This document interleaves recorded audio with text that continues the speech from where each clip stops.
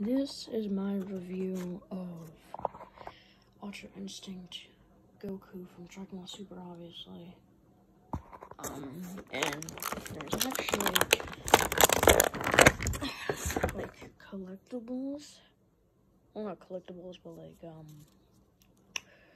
if you get every single uh, uh Dragon Ball Super character of this brand, um, you can actually make Broly, which I think is pretty cool.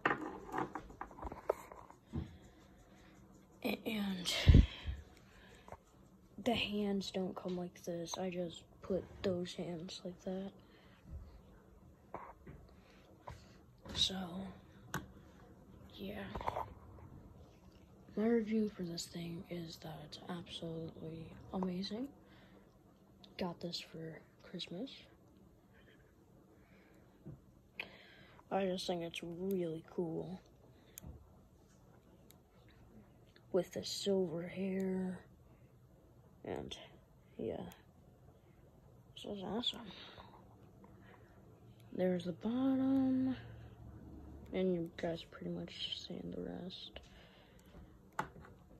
And uh, then there's more over here. Let me just try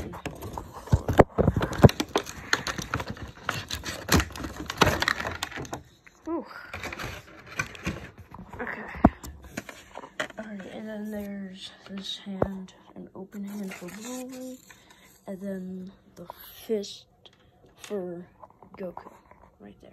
He got some small hands. Look look at Broly's arm compared to his leg.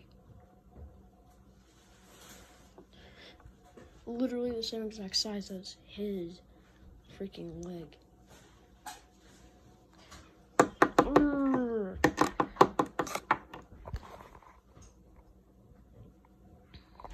There's my cat. I'm not going to tell you her name. I'm just not because I don't want to. And yeah, that's my review for this action figure. Hope you guys liked this video and maybe you guys should maybe, well, try and buy one of these. Peace.